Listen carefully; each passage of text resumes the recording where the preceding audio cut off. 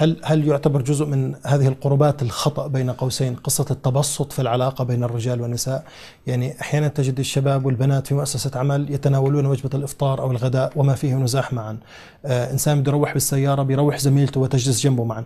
هذا التبسط في العلاقة دكتور هل يندرج عليه؟ نقطة ضعف المرأة القول. ولا تخضعن بالقول. فيطمع الذي في قلبه مرض. نقطة الضعف إيه قرانيه ولا تخضعن بالقول. فيطمع الذي في قلبه مرض وقلن قولا معروفا.